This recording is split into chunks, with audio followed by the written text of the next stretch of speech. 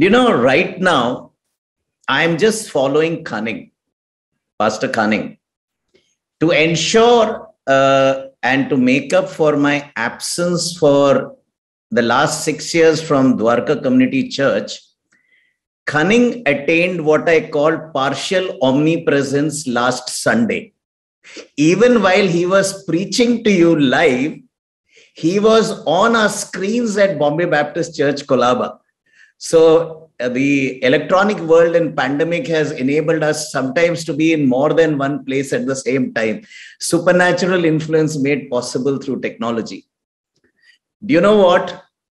Even right now, when I'm live with you on Zoom, I'm also on the screen as pre-recorded anchoring at Bombay Baptist Church, Colaba. So, Cunning, you just made all this possible. So, just amazing. No, it's it's actually a joy and honor to be here. So, let me not waste time and get straight into the story. And my story starts from uh, it's it's more than uh, a decade and a half ago. I was very privileged that uh, the Navy sent me on a trip along with four other people. And do you know what? It was one of my dream places. I used to think of traveling worldwide.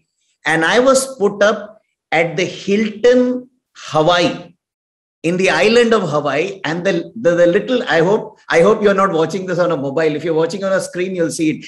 The Hilton, Hawaii is what you see on the screen on the left and it has one artificial lagoon it has one real lagoon and five days over there wow. You know you can imagine the kind of feel i get. And this is something around april 2008 and i come back and i land in delhi and i land up which can only be put in hindi. It's called gandagi garmi and gali right? I mean it is absolute heat the traffic was crazy and the language was suddenly so different. But you know what? I felt home. I felt, you know, whatever. I knew that I was in a, uh, in a layman's term, in a piece of heaven for about four, five days. But with all the challenge, and by the way, this was Delhi, I was landing in the airport and I was heading out.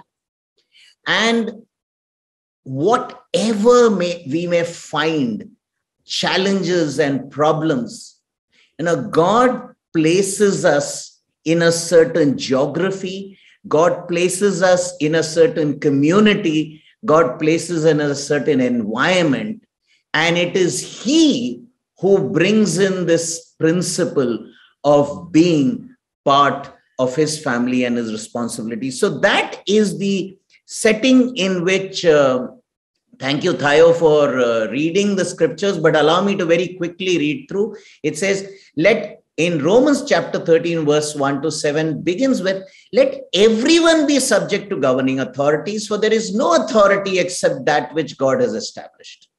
The authorities that exist have been established by god. Consequently Whoever rebels against authority is rebelling against what God has instituted. So those who do so will bring judgment on themselves. For rulers hold no terror for those who do right, but for those who do wrong.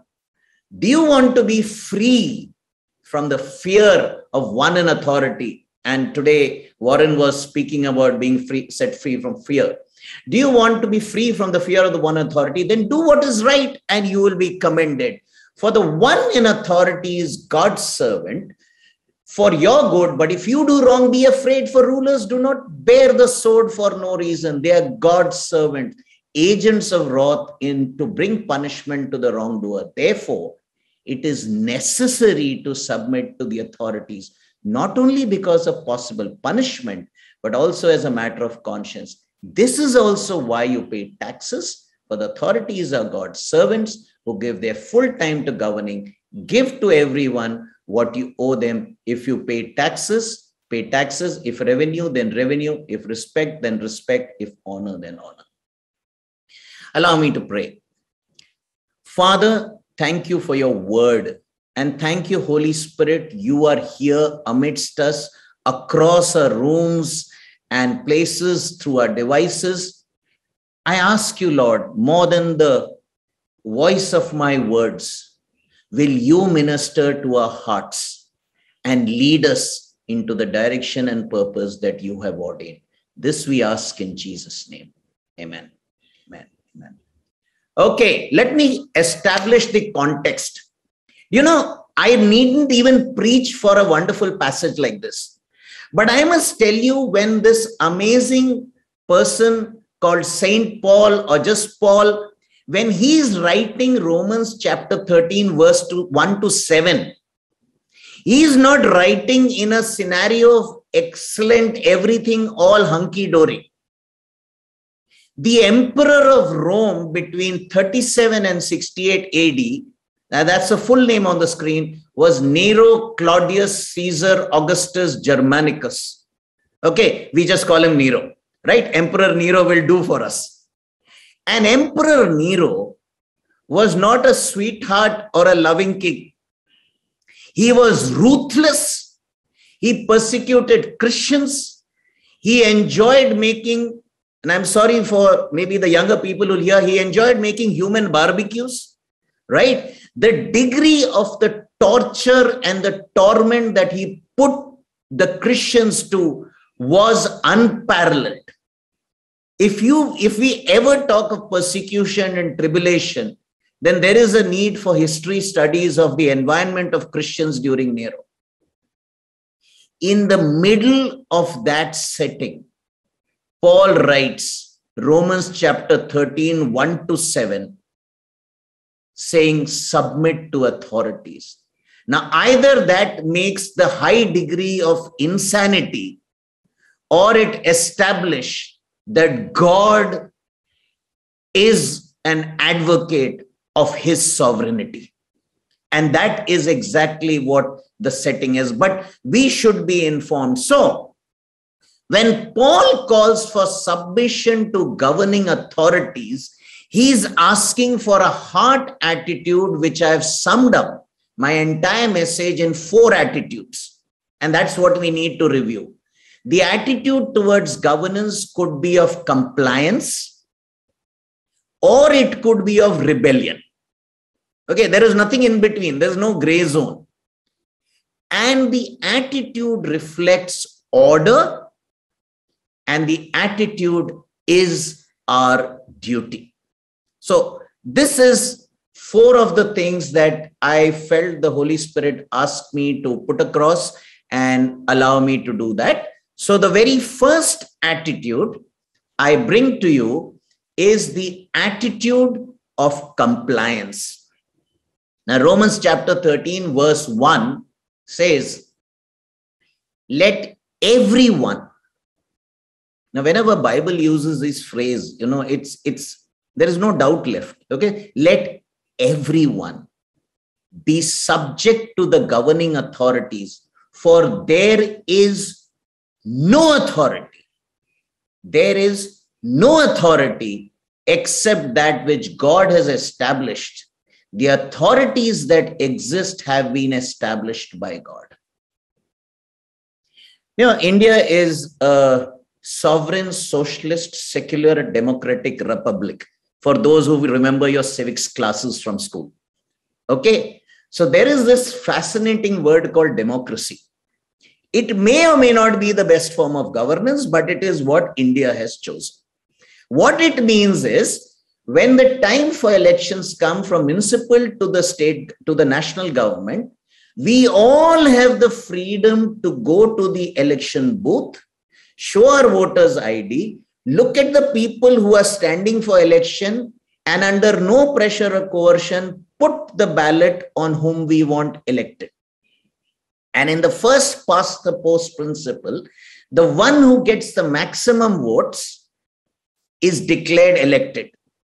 And all such elected people come together in parliament, and whoever commands the mandate of the majority of them, even by one vote, is the leader of the government, and that person will be the one in governance.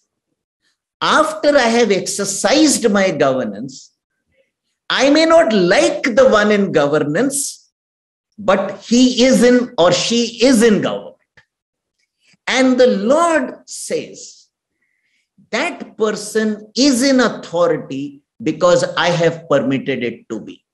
Because God anchors the heart and minds of the people across the nation.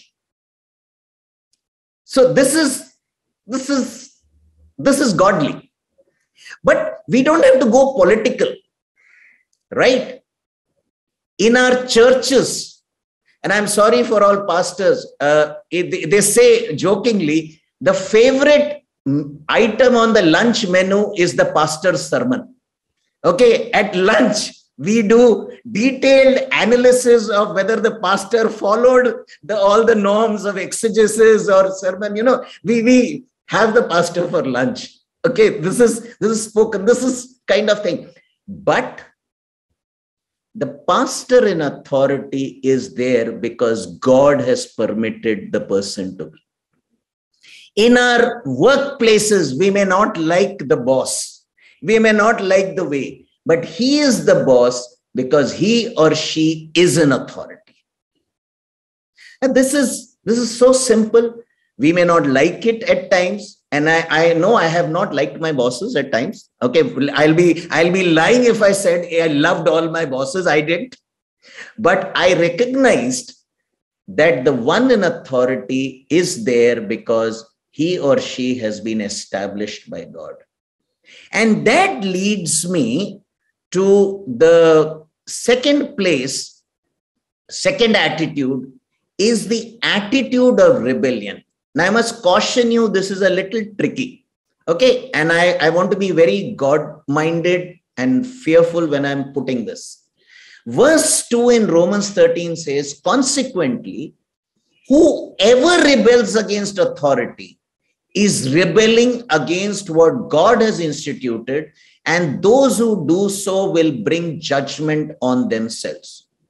Now, in a simple reading, there is absolutely no ambiguity. They call it a no brainer. Okay, if I do not comply with what the authority says, that is called rebellion. Now, allow me to put two settings. I have not put it on slide, two, two settings. One, I love what Pastor Stanley Mehta, our earlier chairman of the Gateway Ministries, and he talks of levels of authority. The highest is godly authority, then God ordained authority, then pieces in family authority, and you last you go to functional authority. And I'm not preaching that, but when a higher order and a low order are in conflict, you have to comply with the higher order. And so that, in that principle, for example, if the law of the land says you must do this, and my immediate boss says do something differently, I can very respectfully bring to that notice. And by the way, I am in the military and also government, so we have something called staff work and there is a staff work manual, and it says when the admiral passes an order, and if it is in violation of the National Act or the Naval Act, it is my responsibility to go and say, Sir, what you have said violates the higher order.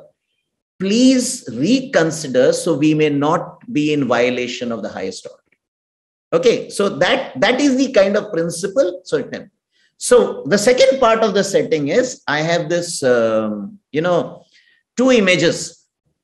The left image is from 1946 in February, and it's close to me because my father used to be a part. He was in the Royal Indian Navy, and there were circumstances when the attitude of the British officers, lot of racial discrimination and abusive language forced the naval ratings to go on a slowdown and strike and recently, we had on 9th August a symposium called Azadi Ka Amrit Mahotsav, and that's why I put it on the slide on top left. And we commemorated that, that in the circumstances, they rebelled against the violation of the norms. Of course, after a few days, the rebellion closed, and that is there. Now, initially, the government was very hesitant how to, you know, handle them. By the way, for their rebellion, against injustice, they are commemorated. But for the act of indiscipline, they were also put on trial. So there is there is order and there is also which will come down to that. The right side is what is the images from a some time ago called the Arab Spring, when there were certain nations in the Arab world where there was dictatorship and people rebelled. Now, this is not just in recent times. Do you know when Paul and Silas were brought before the Sanhedrin and they had just finished healing uh, the blind man in the temple and then they were arrested? And in Acts uh, chapter 4, it, it says, uh, okay, uh, before that, the premise is this. Sorry, I just jumped the gun. Respect for authority is a mandate. Let, let me first establish that. It says in Romans chapter 13, verse 3 rulers hold no terror for those who do right, but for those who do wrong. Do you want to be free from the one in fear of one in authority? Then do what is right and you will be commended. So, doing what is right is the primary point. So, then when we come to Paul being brought before the Sanhedrin, mentioned in Acts chapter 4, verses 18 to 20, and this is what it reads then they called them in again and commanded them not to speak or to teach at all in the name of Jesus. But Peter and John replied, Which is right in God's eyes, to listen to you or to him? You be the judges. As for us, we cannot help speaking about what we have seen and heard. Now, I would caution Christians, many of us have misused this and been foolish also. But the principle here is if the higher order norm is violated by someone in lower level of authority, then the compliance is higher. And I will later come back to specifically about how we can handle gospel and evangelism when there appear to be orders which restrict. Okay when i i'll share something in that. So here is paul. He says sirs i respect you. He respects the judge. He respects the position. But he says as far as telling about christ that is the order of the sovereign god and we will not be in violation of it. We will share about the gospel. So that is about the attitude of rebellion. Rebellion is not what the bible says but bible says to comply with the sovereignty of the Lord. And I'll close with the sovereignty principle later. The third attitude. The third attitude is the attitude of order, or we call law and order, or peace and good order at sea. At sea, we talk a lot about that. Verse 4 and 5 says, For the one in authority is God's servant for your good if you do wrong, be afraid, for do, rulers do not bear the sword for no reason. You know, you'll see the cops or some, even when we in the military wear a ceremonial dress, we carry a sword. Now, that sword can do nothing. It's like all very nice and shiny. It doesn't do anything much. Uh, but uh, sometimes you carry a ceremonial pistol. So they bear the sword not for no reason. They are God's servants, agents of wrath to bring punishment on the wrongdoer. Therefore, it is necessary to submit to the authorities, not only because of possible punishment, but also as a matter of conscience. And I want to uh, put this across. Uh, let, let me see if I can convey this. Okay. I will give you a situation, one related to and i'm and I'm, again my apologies. Being a military person sometimes i forget. I'm i'm very you know brash. But one is about taking life and second is about taking money. Right? So first situation is someone kills another person one on one you meet someone meets another person some circumstances kills the person dies. Or there is a boxing match and you were the two people were mismatched and the box was so bad the second person died. The third is there is a war and the one who is in war shoots and the other person in war dies. All three resulting action of one person cause the death of another. In the first one it is called murder. And the consequence is capital punishment in the other two, they may get a medal. I mean, in, in the boxing, you know, boxing, you may just have kindness. But in the third one, you will get medal. On 15th August or on 26th, you will be brought before the country and, you know, they'll be honored. Same action, taking life, can lead to capital punishment or a medal. The difference is law and order. Sometimes the sword is given to mm-hmm. bring mm-hmm. good order you know, we in the Navy, this is one thing we take a lot of pride in. We sail the high seas, and it is probably the only arm. I'm not saying I, of course, I will praise the Navy. I've been there for, you know, so many decades. But when we go, one of the things is brings a stability and peace. There's a line which says the purpose of a military is ensure there is no war. I mean, that's that's the larger purpose. But if there is, then necessary actions will follow. Similarly, there is about taking money. Okay, there are two options. I take money quietly from the office, from the cash box, and keep it in my pocket. Right? Option one. Option two, I am in the tax, uh, in the sales department or in the toll department and I collect fine. Or maybe I'm a municipal person and I collect fine from someone who is not wearing a mask. Right? The third is I go around and say, you know, we are going to do this cricket match, which is for a good cause. I go to the person and take money as collect donation. All three the same action. The first one will send me to jail. In the other two, we will get commendation. So it is not the action, it is the context. And there is always a sense of order. So that is why the authorities are established and given the sword that please ensure law and order is there. And if someone does not conform, do not hesitate to use the sword. I mean, we always pray it doesn't happen, but if it happens, that will be there. So I hope that clears it a little bit of the concept of order. Last is the attitude of duty. This is also why you pay taxes, for the authorities are God's servants who give their full time to governing, give to everyone what you owe them. If you pay, if you owe taxes, pay taxes. If revenue, then revenue. If respect, then respect. If honor, then honor. Remember when even Jesus Christ in his earthly ministry gets Paul, I mean, gets Peter to do a miracle, finds, you know, a coin and a fish, but pays the tax for both of them okay and and there's the other one also about caesar's face on the coin and all that component. May i ask us to come very practical and i i really i love putting you know anagrams and uh, you know alliterations. So i put forward four t's and let us see our attitude. Taxes traffic trash and tribute. It will speak of the attitude. What is my attitude to tax now, tax saving is okay.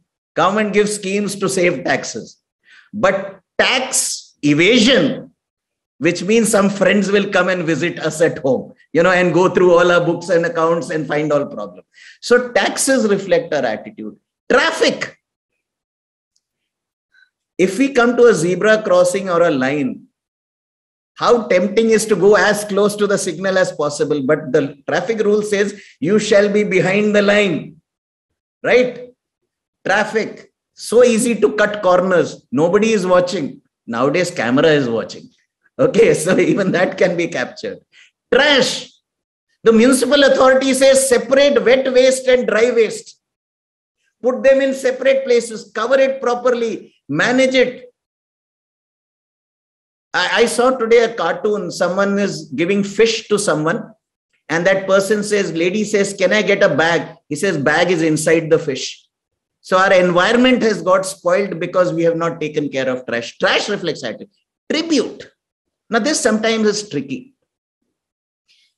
Paying tribute to someone in authority is not showing that i am you know uh, you know doing some false pleasing to that person right we are taught when someone is authority, I may not like the person who may be a minister at times, but when he comes and if I am on parade, I will give salute to the person. because the person is an authority. It's not the person, it's the position. So taxes, traffic, trash and tribute, four among many possible places which talk of our duty.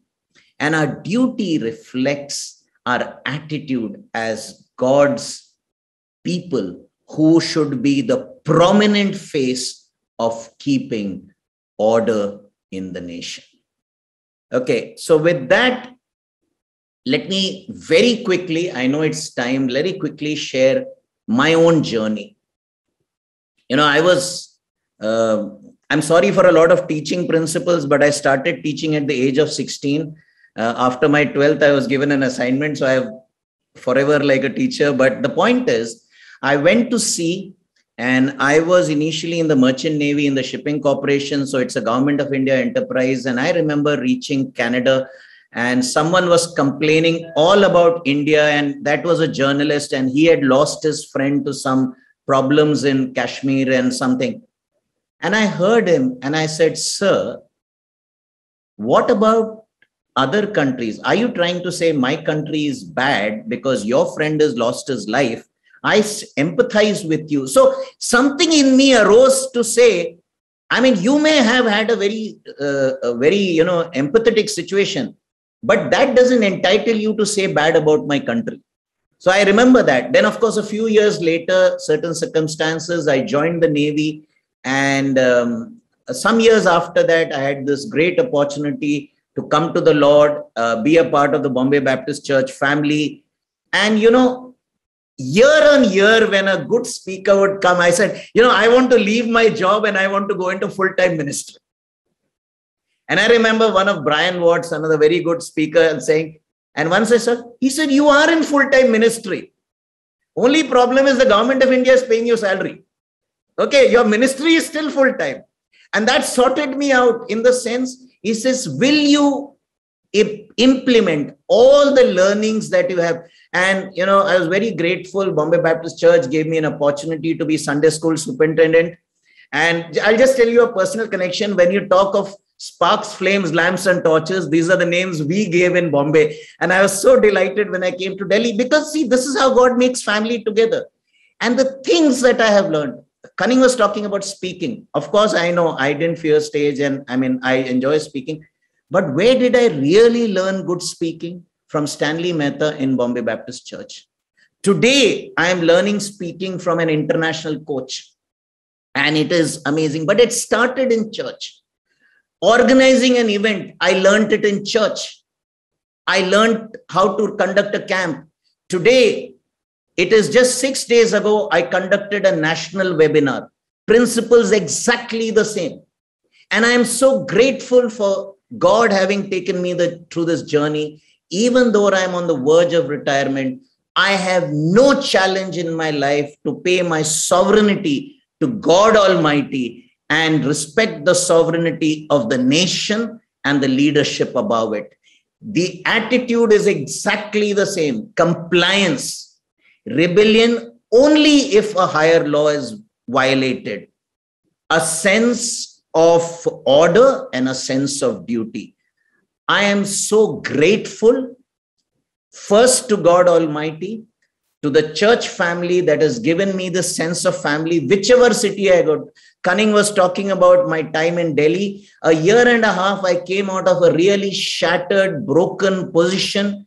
Uh, sorry, yes, I had undergone a very challenging family breakup, and Dwarka Community Church gave me a home my son Joshua and I stayed in uh, Palam, and it was such an amazing scene of love. And so, when God gave me a second chance, I was marrying Vinita. I remember the people from DCC come all the way to Coonoor. Uh, by the way, you, you, know Cunning sings very well. He sang at the wedding, and many others. Uh, I think John Lal was there, Sarah, many others uh, were there. What a joy, you know, to be family because God is our sovereign Father. And yet, because of the Navy, because of the government of India, I have been given amazing opportunities worldwide, nationally, and to build people. And I believe in the sovereignty of the kingdom and the sovereignty of the nation. And so, with that, uh, my closing is two quick teachings. As I said, I am a teacher. I, I have a PhD, two quick teachings, and that is the concept of patriotism and nationalism. Okay, very simply, what is patriotism? Patriotism comes from a word called patria, and in correct meaning, this is from the encyclopedia loyalty to and defense to the nation. When you have geography, community, and values. Whenever you have an area where there's geography, community, and values, you are loyal. Things like national anthem. You know, we proud Neeraj uh, you know, the, he, he's won the javelin gold and we all were happy the national anthem was being played.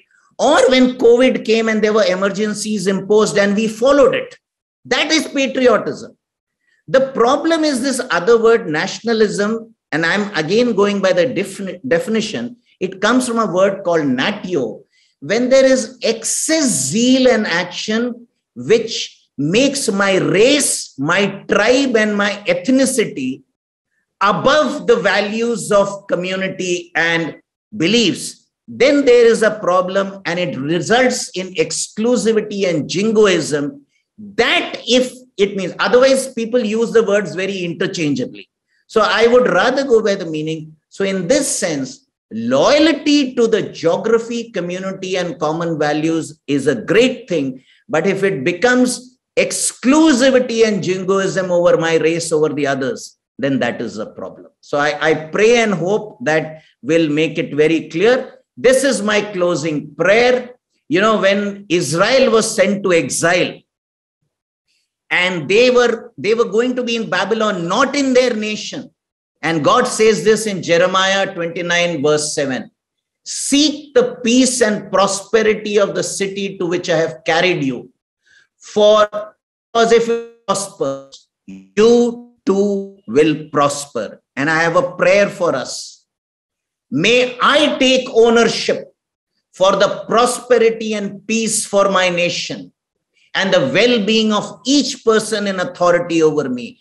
If I have a complaint against someone in authority, we talk of uh, Second Chronicle talks about it is my responsibility to pray for the well being of that person. It is my responsibility to bring national development. It is my responsibility to bring better values into the community and people around me. That is what God has called me to. And I believe that is the true reflection of a citizen of the kingdom of heaven and this amazing nation called India. I am proud of being an Indian and I'm proud of being a believer. I'm proud of being a naval person because that is the will of God who has placed me here. And I believe that is there.